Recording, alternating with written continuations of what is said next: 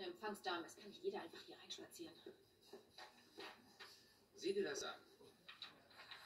Ein Haufen roter Kreise. Jeder Kreis zeigt, wo ein Körperteil gefunden wurde. Ist das ein Flughafen? Los Angeles International. Der Leichenbeschauer sagt, die Überreste sind in ziemlich schlechtem Zustand. Also schnipsen Sie es dem FBI zu. Flughäfen fallen unter die Bundeszuständigkeit. Exzellenter Gebrauch des Wortes Ich kann Schnipsen. nicht nach Los Angeles fahren. Ich muss einen Krieger aus der Eisenzeit Ein authentifizieren. Krieger aus der Eisenzeit?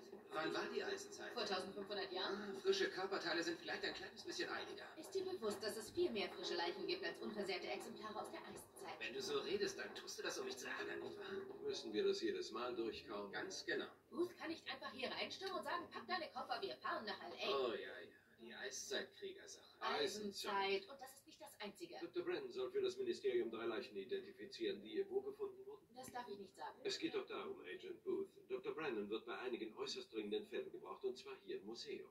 Wieso sollte sie nach Kalifornien gehen? Ein schicker Fall in Hollywood? Wäre eine ziemlich gute Presse für das Jeffersonian, oder? Aber Dr. Goodman, Sie haben gesagt, der Eisenzeitkrieger hat höchste Priorität. Da spring ich für Sie ein. Sie packen Ihre Koffer.